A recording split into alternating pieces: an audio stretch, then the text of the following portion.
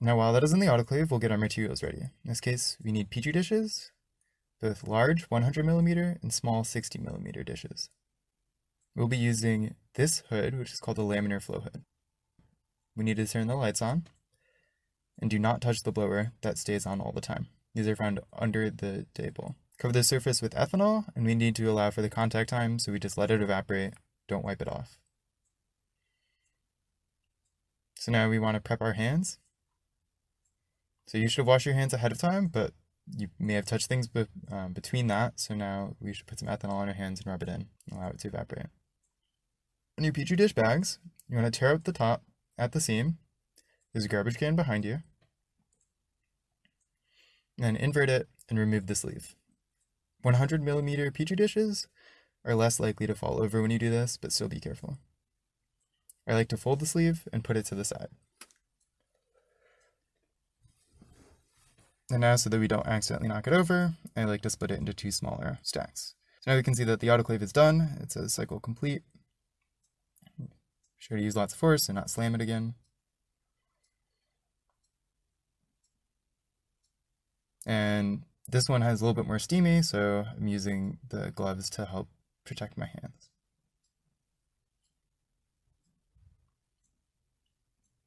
Careful to not slam it. So now, ooh, these are pretty hot, so we should use some gloves.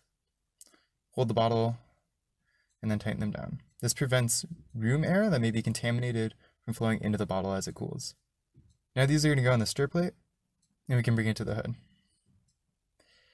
If you're putting in antibiotics or any other ingredient, you likely want to cool the bottle to 60 degrees first.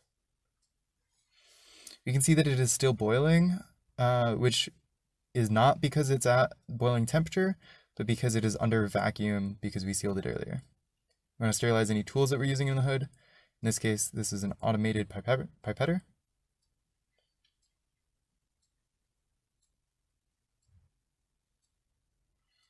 And once we open the bottle, we'll notice that it does rapidly stop boiling.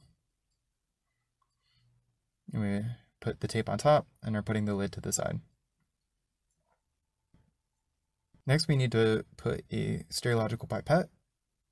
These are located uh, above the stir plates on the left side. You want to secure it in, and then you can look at the guide and change it so it is, shows the numbers that you want to see. I prefer to have the bold numbers on the left side, at least where I can view them. So this, we're going to take up liquid using the up and down buttons on the trigger of the pipetter, and then we're going to use it to fill the plates.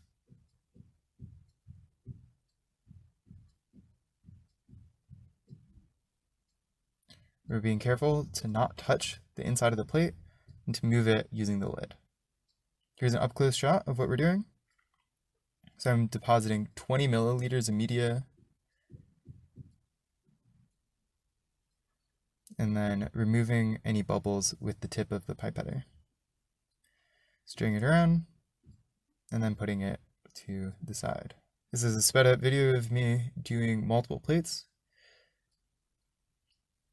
So generally we can arrange them three or four deep. We want to have the lids adjacent so that um, the air coming out of the hood helps to cool them down. It's important to remember that the sterile air from this hood is coming out towards you, so you do not want to have anything contaminated interrupting that flow. With 60 millimeter plates, I tend to arrange them in rows of six, and then put 10 milliliters of media in each. Therefore, we can take up 30 mils, and fill three plates. Same applies for making sure that it fills the bottom and popping any bubbles that you shall see.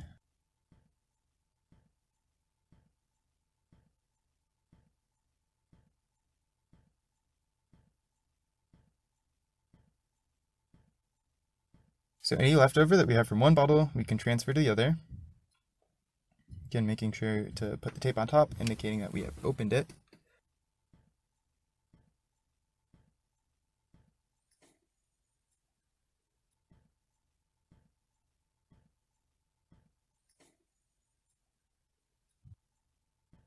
The empty bottle we're going to want to fill with water right away to make sure that no agar has solidified on the inside.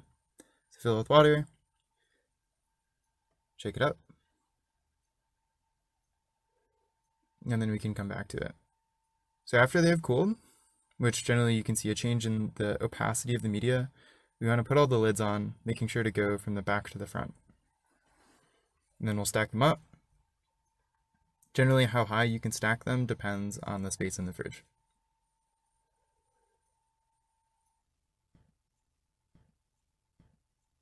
After you fill all of your plates, we're going to put the stereological pipette back in its original uh, paper housing, put a lid on the media bottle, and then we're going to put the stereological pipette in one of the designated containers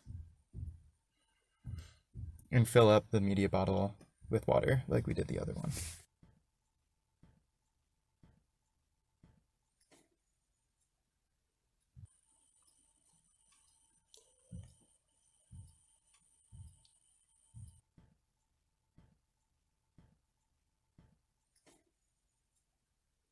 You want to catch the magnet as it comes out, and we'll put it back in the bottle. These will then go to into the dishwasher, where we'll remove the magnets and the caps and put the bottle separately.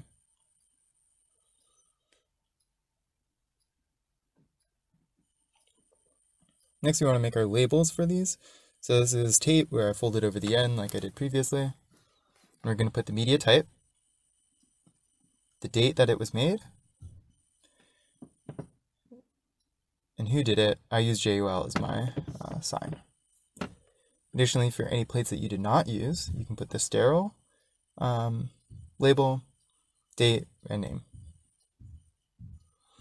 So for a stack of plates, open up the bottom of the sleeve and place them over the top. If you do not have enough sleeves, there are extra ones in the culture room, generally um, in the drawer labeled Petri dish bags. So this is my style of folding it. You may use your own, but this is one that we have found that works well. Do that, fold it like a present, and put a piece of tape over top.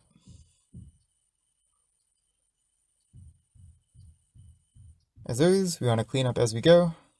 So spray down your surface, put down or put away any uh, utensils that you've used, and we're going to take the pipette with us. Turn the lights off, and leave the ethanol uh, to stay for its contact time. Now we need to put the media away, so find space in the fridge. We want to keep them upright because this avoids them getting contaminated. Because we generally lose some media um, in the autoclave, you won't get as many plates as you expect, so maybe plan for about 20 mils less. Plug in the pipetter and put it back on the shelf. Put away any sterile plates in the containers that you got them from.